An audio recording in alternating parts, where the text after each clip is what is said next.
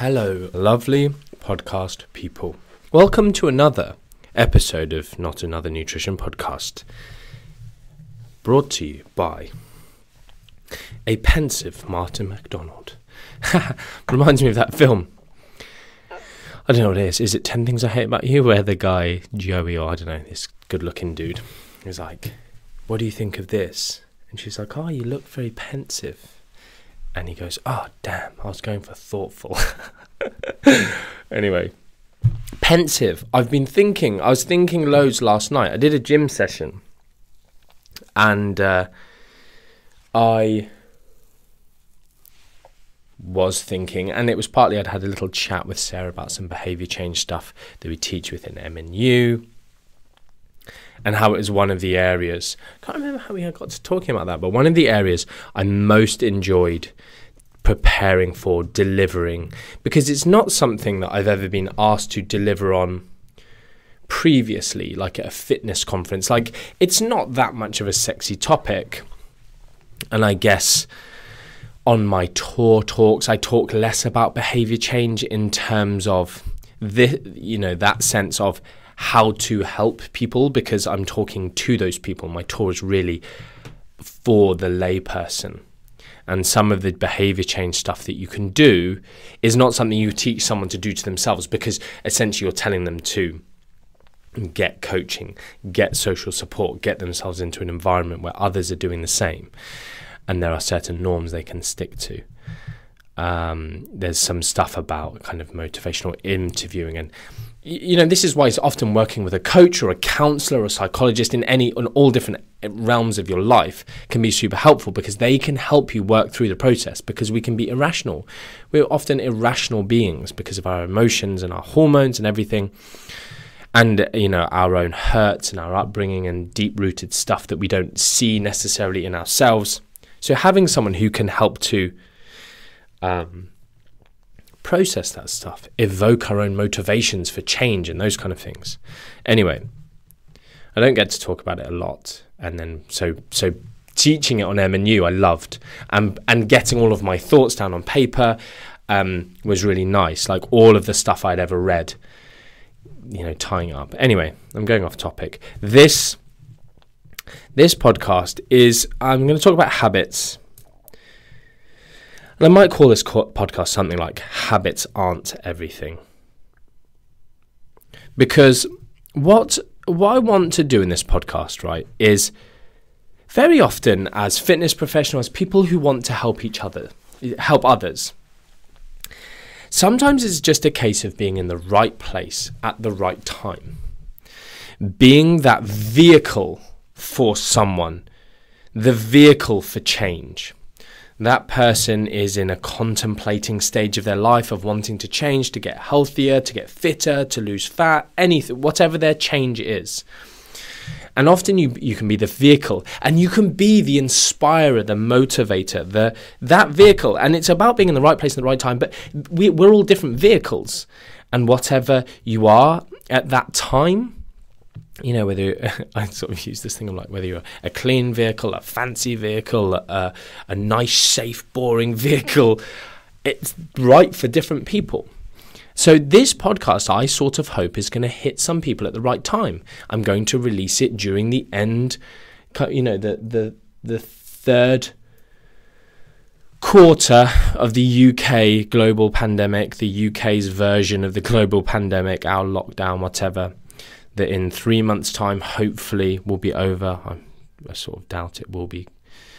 Um, but at least we things are seemingly improving. But as Europe gets worse, it's blah. Anyway, I'm I'm talking about this because you know I, it's funny. I putting this content out at any point during the pandemic is like oh I've kind of missed the missed the peak to like help people, and it's like no, the pandemic's still going. You know, we're now into over a year after it sort of started in terms of our lockdown. Anyway, so um,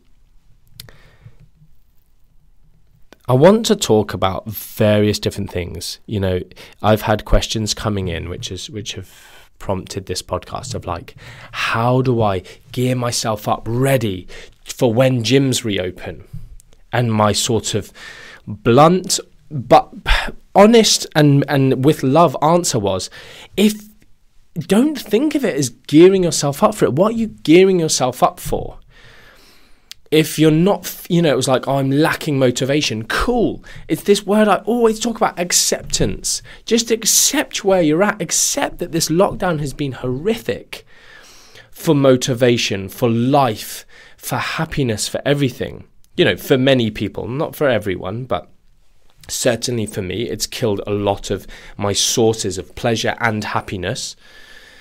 Um, and you know, seeing people being sociable, having motivation to better yourself has been difficult at times, if not all the time.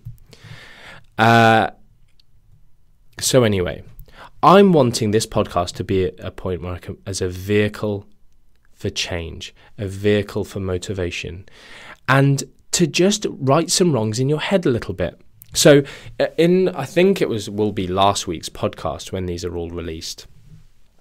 I talked about doing stuff well and paralysis by analysis, and with this podcast, not wanting to go overly heavy on the preparation, not overly heavy on the structure, not overly heavy on providing references, you know, and linking you to them and this, that, and the other.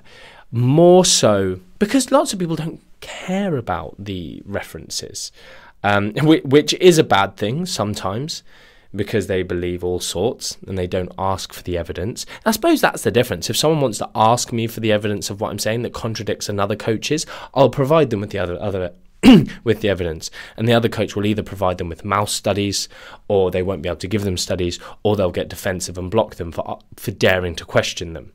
There's a little a little help for you guys knowing who to trust. If someone's honest and uh, and telling the truth and is evidence based, they'll be will they'll be likely willing and able to provide you with where their evidence is coming from. Anyway, this paralysis by analysis um, is what I was talking about with me in the podcast, and it's very similar with diet and exercise, in that all too often and I said it in that show, is people wanting to be on it. I'm on it. I'm all or nothing. And they think that's a good thing. It's not a good thing. Being able to turn a switch maybe for a bodybuilding show is maybe good.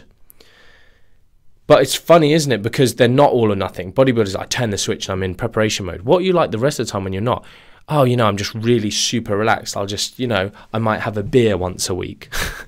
um, I'm joking. But it, you know, their version of not on it is next level. They're still ridiculously regimented in what they do. And, uh, but it's a different, uh, I'm on it. I'm all or nothing. What can I do to gear myself up to hit back? I'm going to go back in the gym six days a week, tracking calories, blah, blah, blah. Rubbish. Don't, try not to think like that. Try not to think of it as a completely different person, different lifestyle, the diet starts Monday mentality. And so there's a few things I want to talk to you about here. And it's it's this thing of habits on everything. This is my first little piece of advice, little writing of wrong in your mind maybe, where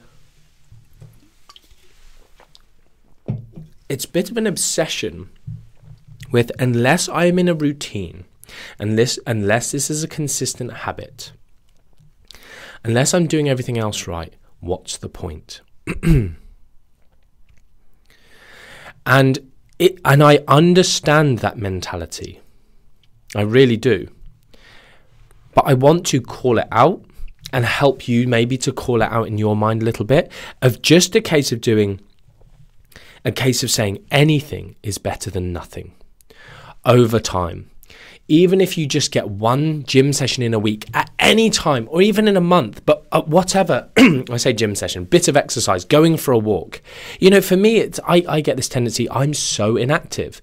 And I can think, oh, you know, I'm going to start you know, going for a run three times a week at lunch at work or something, or I'm going to go for these walks or whatever, rather than just any time I randomly get the motivation to do something, you know, it's a bit like, oh, I just suddenly feel like going for a run for whatever reason. Go do it. Great. You don't suddenly have to become a runner have that in your lifestyle in your routine and not not doing it just because it isn't part of your program whatever might be undermining you. You know, oh, you know, and and actually just releasing that and actually leaving space for. Do you know what? I I feel like doing a home workout today. I'm going to do one, even though it's the one I've done this month.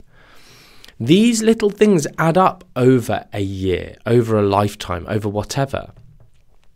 And there is a bit of an obsession with habits sometimes. Unless it is a habit, unless it is a routine, what's the point? Unless I'm going to be striving for optimal, going, you know, have a program, have, you know, a periodized program. um, it can just undermine small progress and even actually maintenance. That's something I didn't have in my mind to talk about. Maintenance is a lot, lot easier with regards to fitness, um, muscle gain, or muscle mass. I'm hesitant to say weight loss, but I will just remind everyone that often people say, you know, once you've lost the weight, do I have to eat that low calories for the rest of my life? And it's like, no. If you're losing weight, you're in a deficit. You go back to what maintenance is. Yes, you probably can't go back to eating the number of calories that you were before you ever started to diet and lost 5, 10, 15 plus kilos, whatever you lost, because you won't be at that same maintenance level. But you don't need to eat in a deficit for the rest of your life. So you can eat more. Um, maintenance is sometimes easier than weight loss. Uh, yeah, maintenance of weight loss.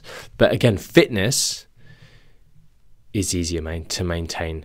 A level of physique is easier ma- to maintain than it is to improve. The amount of work required, the number of gym sessions required to maintain strength, maintain muscle is much less than to build it. For instance, so being all or nothing can, is a bit of an issue, and it's the the mindset has is fraught with issues. Um, so, my encouragement this is uh, probably going to be a fairly short and sweet podcast, but my encouragement is that th- I hope whenever you listen to this in time in your life, it might be that you stumble upon my podcast in the future and we're no longer in a pandemic and you're no longer locked down, and whatever, but you still might be feeling this way. And it's just to hopefully unlock some potential of don't freak out about having this perfect habit, this perfect routine of when to do exercise and what to do. Just do something. And again, if you do listen to this, if you're one of the few thousand people who listen to this as soon as it's released, do consider that. Yeah, gyms will be opening soon. We'll be able to do more, we'll be able to socialize more. But just do something, just do anything for now. But also accept where you're at. Don't judge yourself. Don't feel guilty. Don't tax your um,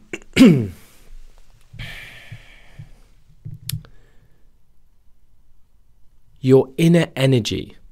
My friend Shona Vertue, she whenever we chat, she's like, "I know you, I know you don't believe in energies," and I'm like, "Shona, I believe in energy. I believe in it, like not just like energy like ATP, but yeah, like your energy. Like I believe in us having a soul, just because it's not sort of evidence based and don't have a randomized control trial in it. but she always just says that to, uh, I don't know, wind me up probably. Um, but it's it's that thing. Don't tax your soul, your energy, by judging yourself for not you know, oh, I have not done this. Oh, I don't feel like going back to the gym when gyms reopen. Like, and this is what I said in my blunt answer to that person on Instagram. Then don't. If it doesn't fill your cup, and I and I said this as well. Sometimes there will be a grind. Like you're in a great routine and you just drag yourself to the gym that one day. But if you're dragging yourself to do something time and time and time again, maybe that thing isn't for you. I need to get back on the bandwagon. Maybe that bandwagon isn't for you. Find something else. Uh, you know, this is why sort of more playful exercise can be great. Maybe, you know, CrossFit will be for you because there's community involved in this and the other. It's fantastic. Um,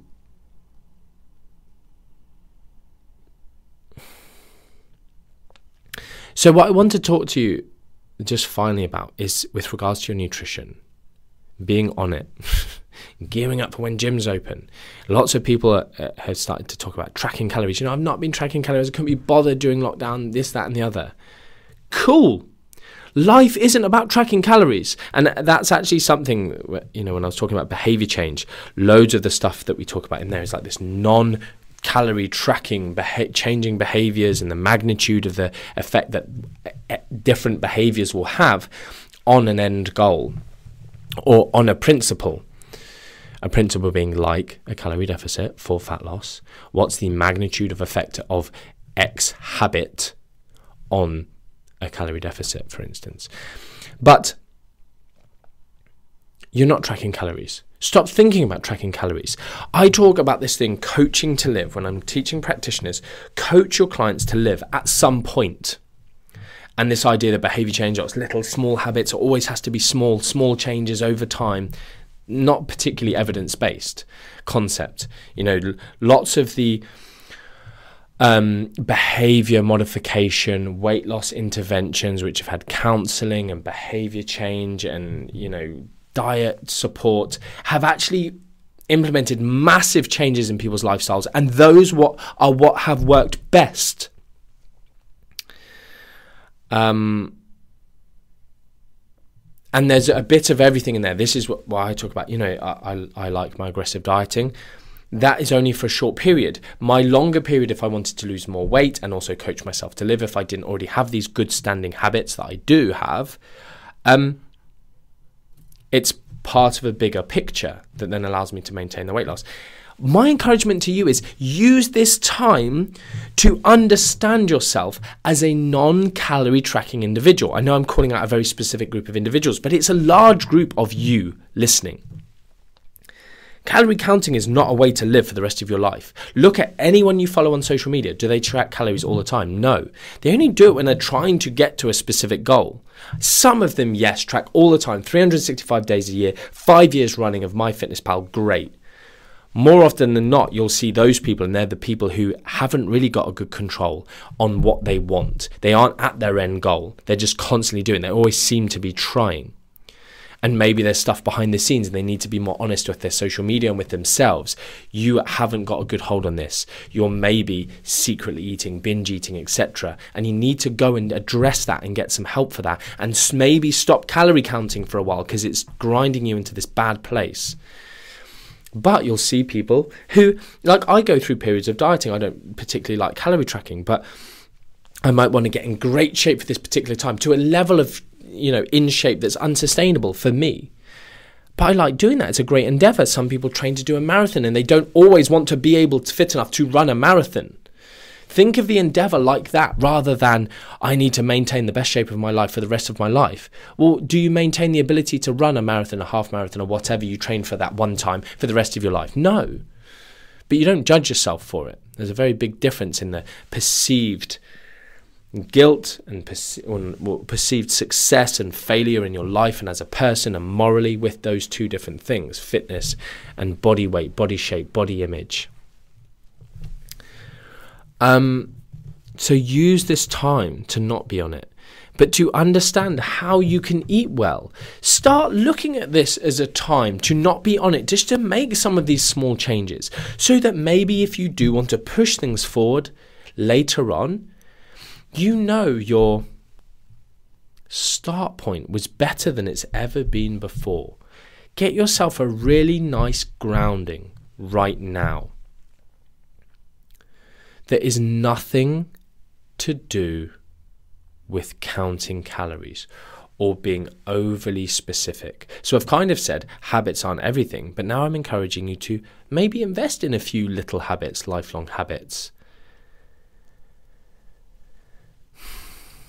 do some of what you would maybe do and you might do again during your process of body composition change or whatever you're going to try and do. Do it now. Do a prehab. Nutritional prehab. That's a cool thing that no one's ever said before. Nutritional prehab. Someone's going to steal that.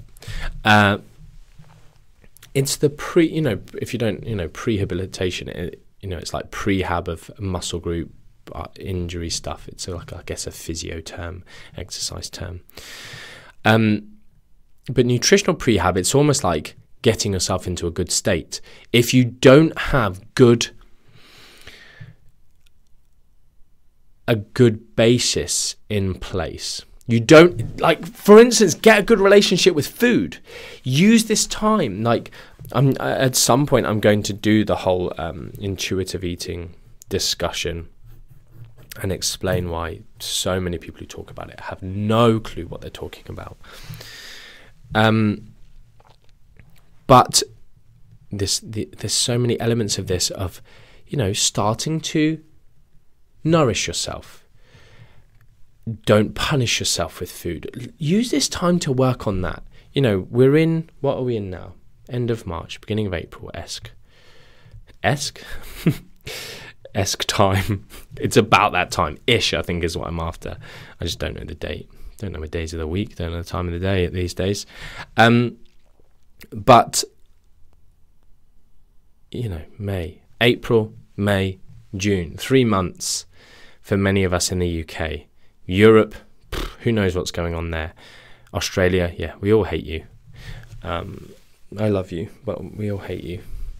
We don't hate you. I'm flipping happy that you guys are having so much fun over there and you're not screwed like we are.